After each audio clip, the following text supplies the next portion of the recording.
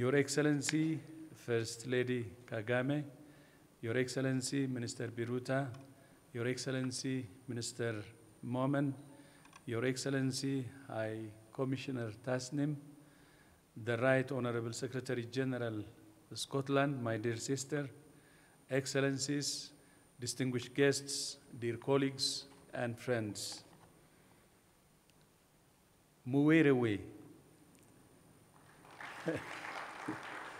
I prefer Amakuru. it's an honor to join you today for this critical discussion. The COVID 19 pandemic has taken a huge toll on mental health, a toll we don't yet fully understand. WHO estimates that already common conditions such as depression and anxiety have increased by more than 25% since the pandemic began, adding to the nearly 1 billion people who were already living with a mental disorder.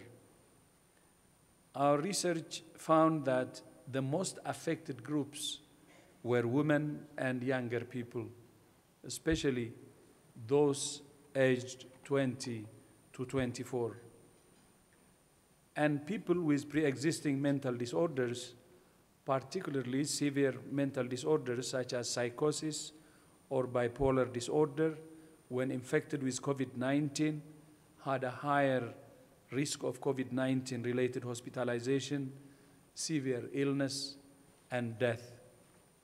Unfortunately, the increase in the prevalence of mental health problems coincided with disruptions to mental health services.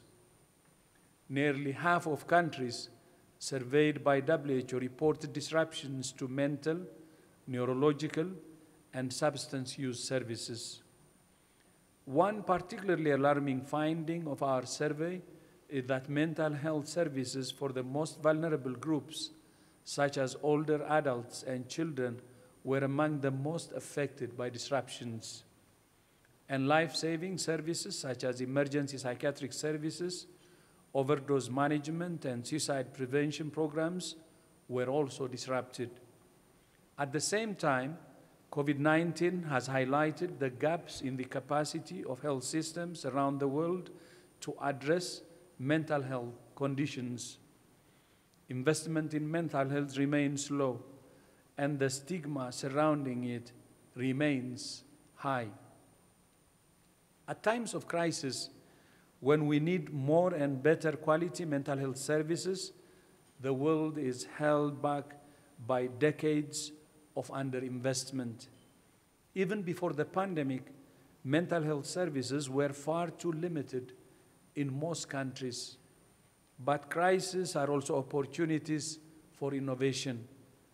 We found that many communities around the world introduce creative solutions to improving access to mental health services, including telemedicine, the promotion of self care approach, and task shifting.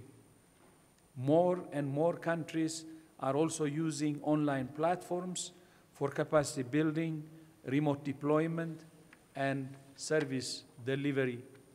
Now, as many countries work to, resu to resume services, there is an opportunity to build back better by scaling up the provision of community based mental health services and integrating mental health into primary health care as part of every country's journey towards universal health coverage.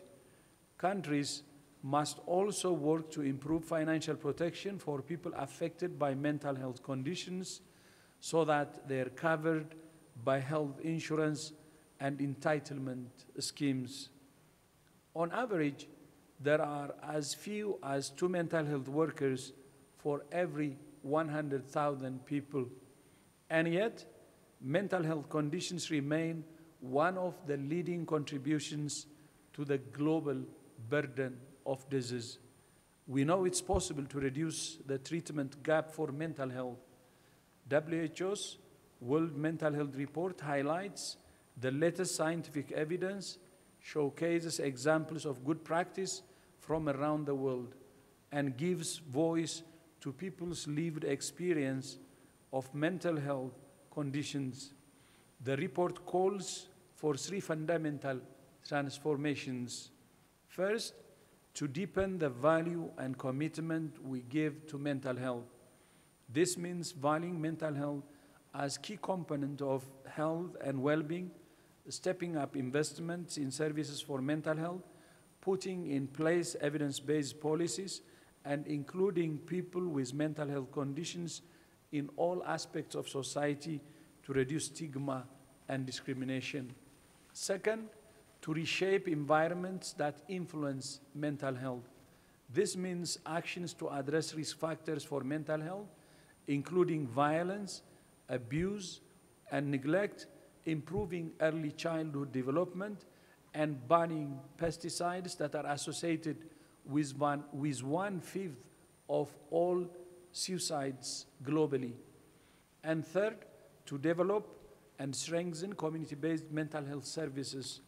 This means building community-based networks of services that move away from custodial care in psychiatric hospitals and integrating mental health services in primary health care.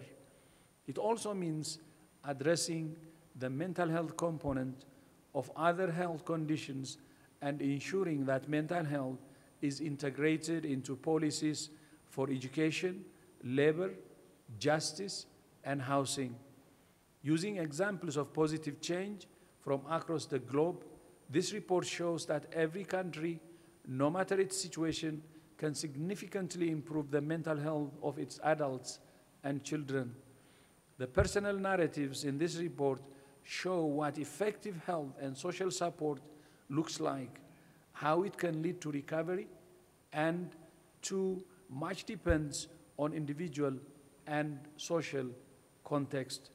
The links between mental health and public health, human rights, and socio-economic development mean that transforming, so, transforming policy and practice in mental health can deliver real substantive benefits for individuals, communities, and countries everywhere.